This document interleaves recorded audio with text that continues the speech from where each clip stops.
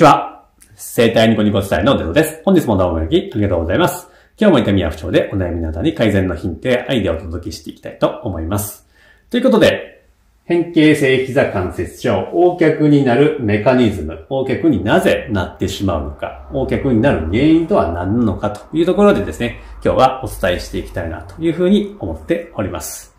で、今回の動画はですね、実は前回からの続きになりますので、前回ですね、メカニズムの大まかなところをですね、お伝えしておりますので、まだ見てないという人はですね、下の説明欄のところにリンク貼ってありますので、そちらから見ていただきますと、より今回の内容もですね、分かってくるかと思います。で、今日はですね、その、大脚になるメカニズムをお伝えしたんで、じゃあそのね、まあ結局膝のねじれから起こってるということだったので、この膝のねじれをどう改善していけばいいのかというところをですね、今日はお伝えしていきたいなというふうに思っておりますので、まあその変形性膝関節症を根本的に改善したいなですとか、あとは、横脚を改善したいなですとか、あとは、まあ、それによってですね、痛みが出てきてるのをね、改善していきたいなと、ねじれも改善していきたいなという人は、あの、続きをご覧になっていただくといいかと思います。はい。ではですね、ちょっと模型を使いながらご説明していきたいと思うんですが、結局ですね、横脚になる人は膝の関節がねじれているんでしたね。えー、こういう風にねじれております。ここですね。上側が内側にねじれて、下側が外側にねじれてます。なので、えこう、こうなりますので、前から見ると O 脚になっているような形に、まあ、見れるということです。なので、こうずれてるんじゃなくて、こうねじれが起こっているということですね。ねじれが起こっております。ではですね、この、なんでこの骨が内側にねじれてきて、下の骨が外にねじれるのかと言いますと、まず原因としてですね、まず一番大きな原因は、骨盤にあります。骨盤です。骨盤がですね、あの、後ろに倒れるんですね。後ろに倒れると、ここの股関節が外旋と言いまして、外側にねじれてきます。外側にねじれてきます。そうするとですね、外側にねじれたら、外重心になってしまいますので、バランスを取るために膝が内巻きになります。内巻きになったら次がですね、バランスを取るために膝の下がですね、外巻きになります。ということで、このねじれが連鎖することによってですね、それを、そのねじれが起こったのを、それをですね、こう、バランスを取るために違うところをまたねじれて。で、そしたら次はまたねじれて。という形で、ねじれねじれねじれっていう形で連鎖することによって、ねじれが連鎖することによって膝が、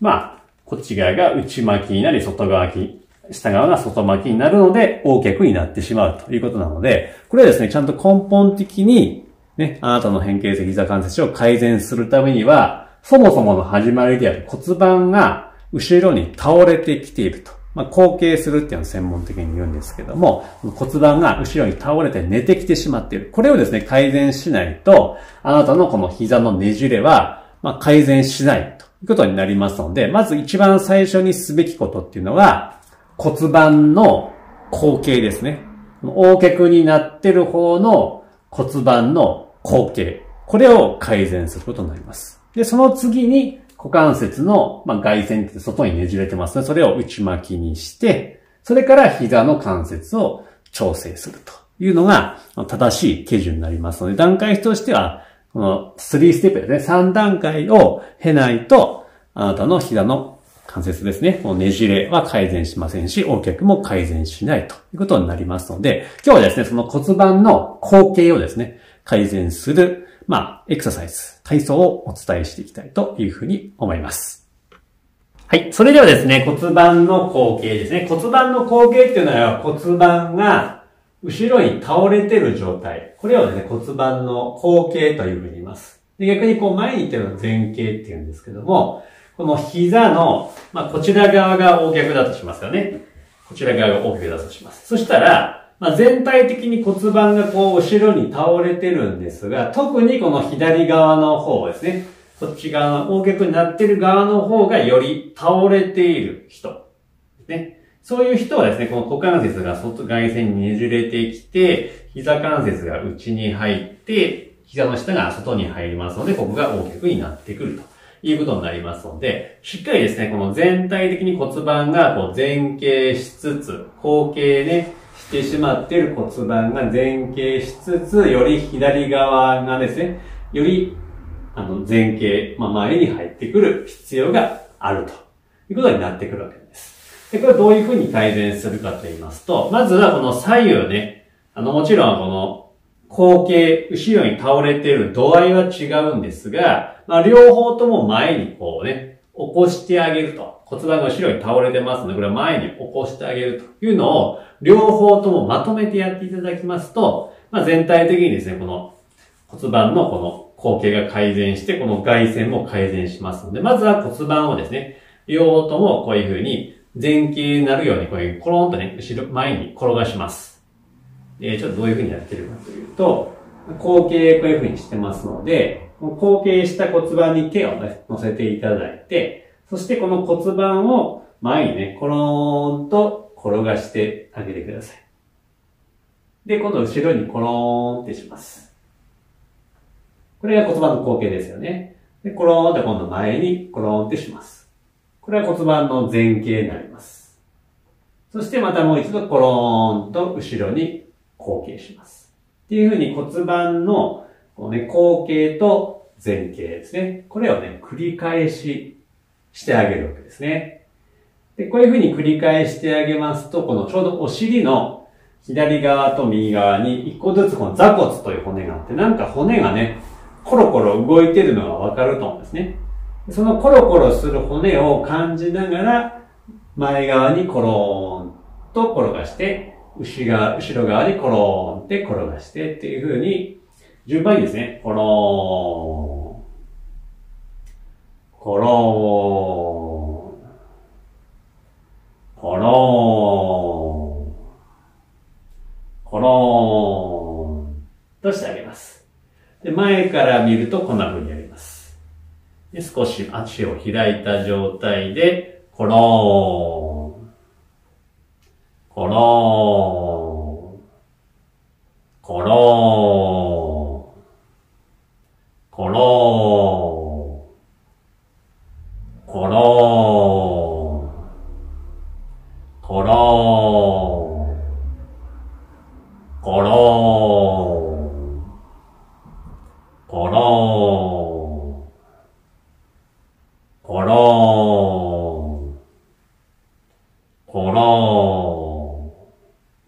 最後は前にコローで終了です。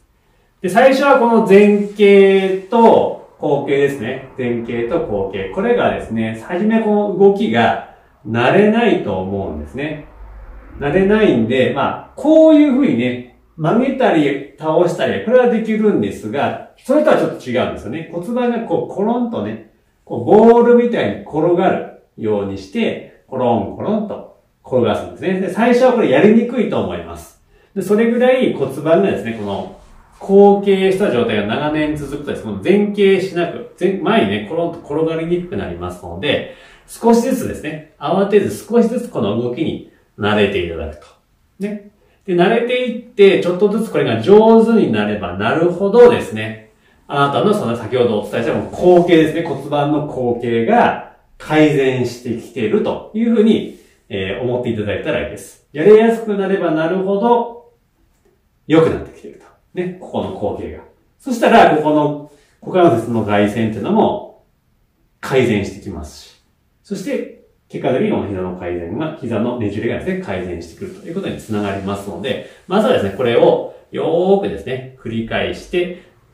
上手になってますまあ、スムーズにですね、スムーズにコローン、コローンと転がるようにしていただくといいです。